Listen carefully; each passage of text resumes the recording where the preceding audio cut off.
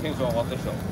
ロバタブースはサンマを焼くだけでお願いいたします。え飲食ブースはステージの前とここで食べるからまたうまいんだよステージの左側が本にお越しいただければと存じます。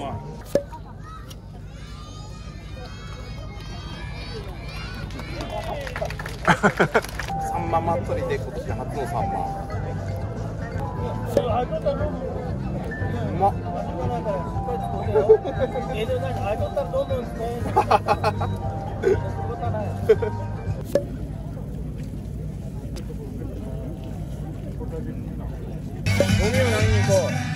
あ、いいんですか？あ、ありがとうございます。